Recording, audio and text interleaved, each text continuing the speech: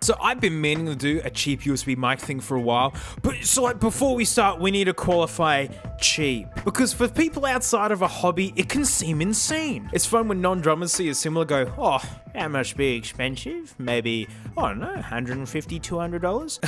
yeah, no. Like when people think of cheap, they think like, oh, like mate, just go down to Cashies, mate. Get to, oh no, my hot dog, just get some of their genuine bootlegs, mate. There you go, mate. Like high quality mic. So like this one time I was like, oh, it'd be fully sick to have my own like company, hey. Like not like to change the world or nothing, just like for the status to be like, yeah, I've got my own company, hey, I'm like big business. But like it's pretty hard though, because I'm pretty sure my dog makes more money than me. Oh, it actually wasn't that bad.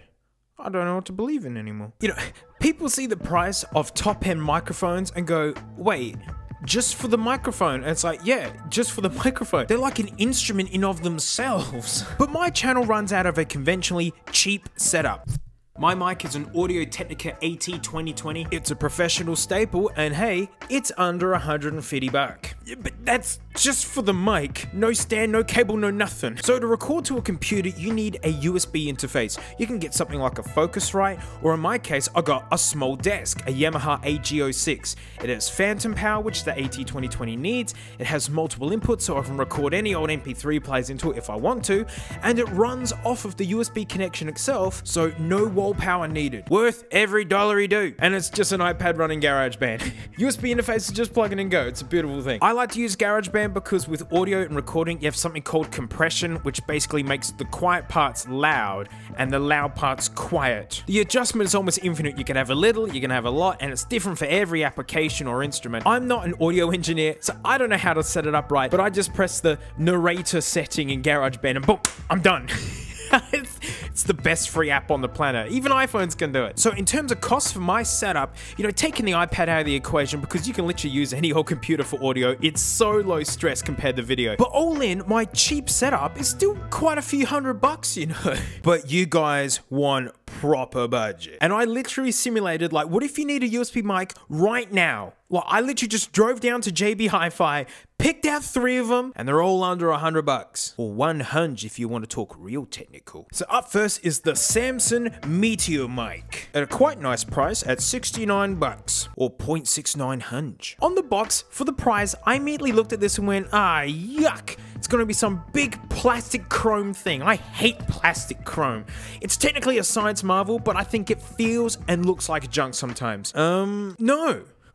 This boy is chrome steel and is one of the densest nuggets I've held. Look at these legs, man.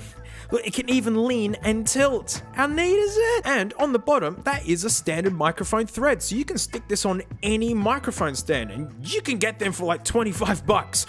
I mean, they suck. Please get a good one, but you could get one for 25 bucks. Mini USB. Yes, of course it came with a cable just to add to the 300 billion I now have. And so you're probably looking at this going, well, what's the big deal? So it's just like a cheap microphone, right? So instead of 150 bucks, it's like 69 and then you plug this into your interface. Uh, no, this has a built-in USB interface. That's what the mini USB is for. So yeah, this is just an all-in-one guy. Bang, plug, yell. The headphone jack on the back is so you can monitor your own recording as you're recording.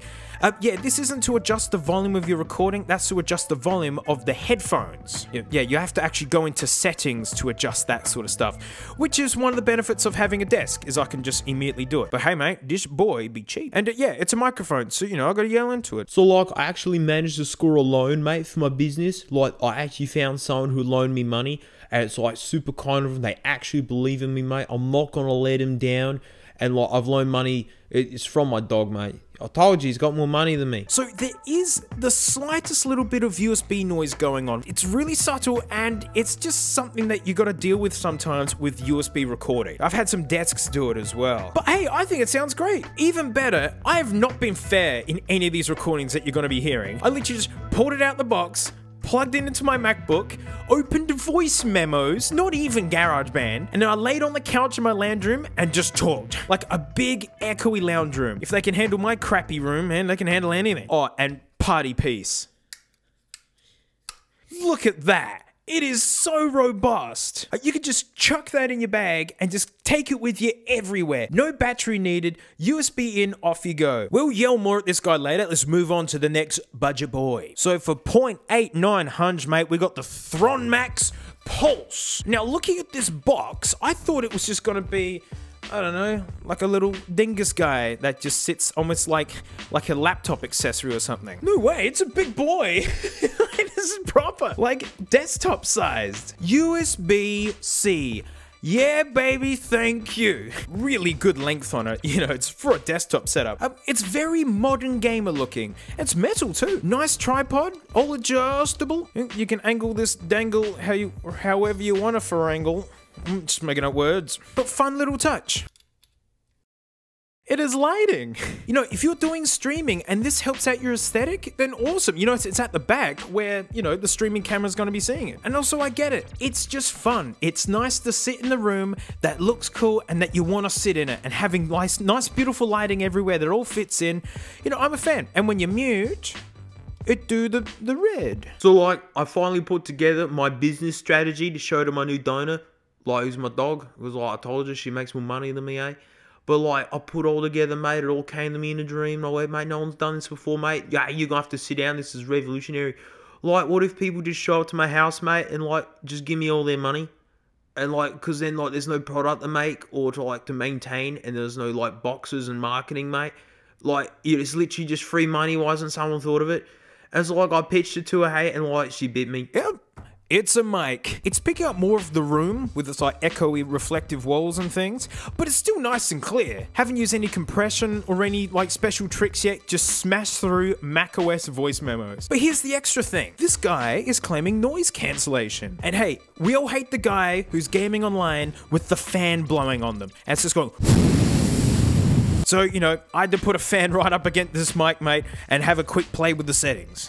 So like I'm standing outside on a windy day, hey, because like open up the door, mate, like to go and do a poo because I don't have a toilet, and like my donor's just legged it, mate. Like she's just gone straight out the door, hey. Like I don't get it, mate. Like I give her all this love and attention, and like only pressure to invest in my terrible company every five minutes. Not a big deal. And like, mate, I've just opened up the door and she's gone. The company's destroyed, mate. Hang on, I'm gonna sit in the car for a minute. Is anyone gonna like donate me like two dollars that I found under the couch and like pushed in front of my dog and just pretended that like she's the donor? Oh no, I've lost the two dollars. Yeah, it loses a lot of volume. I, obviously, you wouldn't be switching between them like that. You know, if you were actually using it, be one way or the other. And so, like, you just bump up the gain to compensate. Uh, when I turn up the volume myself to listen to it, you can hear it's pretty grainy and artifacty. But it did take the fan out. Hey, look, if you're doing some sort of hectic compound raid in Rust, and it's just people yelling constantly, and you just got to be audible.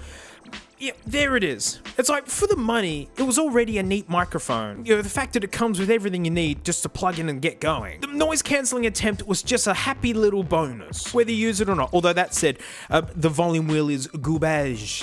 It just feels like it's doing nothing. Give me the Samson Nugget wheel any day. Yeah. And this wheel talks over USB, so it's actually sending signals to the computer to change the volume there. but when I first plugged this in, like the headphones nearly blew my head off with my own voice. Like, and it, this wouldn't do anything, and had to be in preferences to make it do the right thing. So maybe that works better for streamers who need like that USB control for stuff. I, I don't know. So the last one is the daddy. It's the Blue Snowball. This thing has been out since 2005. I mean, it is proof that, like, in audio, if it is good, it stays good. HD 600s are from 1997. My favorite headphones, my stacks, are from like 1981. Good is good, but these are kind of feeling their age now. because look at this no headphone out to monitor your sound. You- this guy has it. The Nugget mic has it. It's just a fugly old mini USB. This guy's allowed to have it because it's 0.69 hunch. This guy's like 20 bucks more and you get the USB-C. But this guy was 97. This is the most expensive one and it has the least features. So like my dog finally came back, mate, which is super sick. Hey, turns out she went to the bank, mate, to get the two bucks out because she safely deposited it for me, which is amazing. But like developing story, mate, like I don't have a dog. Like it turns out I'm just so cooked, mate. I forgot it's my little cousin, mate. Anything under waist high is just a dog to me, mate. And no, she still won't invest in the company. It sounds great, but it is the most expensive. I mean, the tripod's good, but this here is noisy. Oh. Oh, oh, that was crunchy. Yeah, that feels like crap, man. The thing is, you know, like, everyone's kind of caught up, you know? Like, audio's had a huge advantage over video. I mean, the bootlegs, they were perfectly serviceable. I wouldn't record a voiceover for a feature film on these, but you could ring your nan and she could understand you. You know, for less money, you can have lighting, USB-C, and output monitoring. And like height-wise, like it still sits on a desk just as much this guy be a nugget. But there is another element to these microphones, right? Being budget equipment, these guys kind of have a little bit of a responsibility because these could be the spark to the kindling of a passionate hobby and or future career. My first video recorder was a Zoom one to record me playing the drums like 10 years ago for my first goes at YouTubing. Those devices were the spark that got me to, to where I am. But what I'm getting to is like the documentation that comes with these to help you use them because like recording voices and audio, you know, you need degrees with that stuff to do it professionally. Like the the Pulse, it's roadmap style, my favorite. I mean, it just says, you know, plug it in. I, I can't read this, guys. Like, you couldn't have picked the worst. It's impossible to read.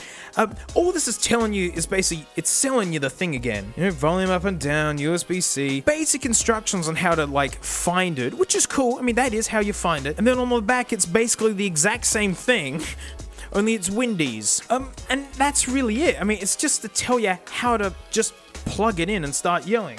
Worse is the blue. Yeah, congratulations on your purchase. You know, the fastest, easiest way to get high quality. It's like they're selling it to you after you've bought it. Don't do that. Plug it in the computer. Audacity, GarageBand, you gives you this technical readout, which is dumb because then it just sells it to you even more.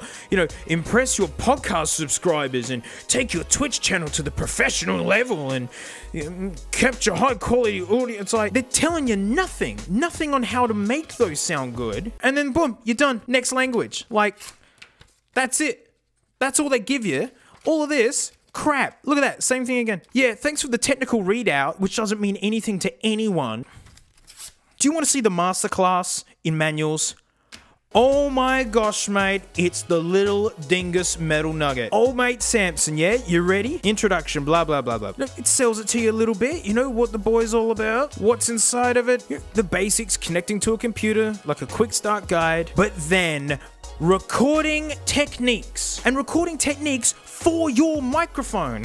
That's why this paperwork's so important. Each one of these is picking up slightly different stuff from slightly different distances. What does your mic need? Vocals, acoustic guitar, piano, explaining proximity effect recording a full band. Oh, look, it's giving you that information too. And little details like this. Yeah, number two, windscreen. Dual stage grille protects the capsule and helps reduce wind noise and popping. That little explanation of popping just, you know, popping is where it's like and it peeks out the mic. This thing's a pop filter, a really cheap one. So little touches like that. That is a fantastic manual. The blue one really disappoints me because the Yeti came with a good manual. So you guys know what a good manual is. Like you've just kind of you just kind of parked it, I suppose. Like people are just buying it because it's so well known. Oh man, that Bubby Samson. So in conclusion, the Blue is a great mic. If you go on these, you got a great mic. But at this price point, like having a few little extra features is just really worth it because cheap microphones have caught up. Because like if you wanted something like more hardcore, you could get their Blue Yeti or Audio Technica make USB AT 2020s. So yeah, like th the next stage up isn't that far away. This mic works great, and it's got way more features if you want like a desktop guy. But I gotta say, as a versatile all-rounder, if you need a microphone like to carry around with you, I I love that. Watch this. I've stolen your legs. I've become far stronger than you could have ever imagined. It looks like a spaceship launch pad now. but how cheap and how well built it is, and that fantastic manual it comes with as like a first start to like recording audio and whatnot. Gosh, and they make like really great cheap open backs as well. How dare they? Maybe it's my dongle causing the USB noise. I don't know. It's still a great little cheap lad. It even comes with an egg bag. Amazing. Well, that's it. Thanks so much for watching. Huge thanks to my patrons, especially these stinky names right here, because my $1 a month I do to videos since the topic is gaming and like RGBing and whatnot, mate. You know, I, you know, I'm gonna take you to the pinnacle of it. We're playing Horsez on the GBA. I don't even know if this thing works properly. Oh wow, these pixels are soft. oh, thank goodness we can play Horsez. So, thanks so much, and mate, I'll see you all next time. Guys, my dog's got a glitch. Like, its bum's here, but then, like, its head's down, like, here. Like, how does that work? Frank, where'd the middle of you go?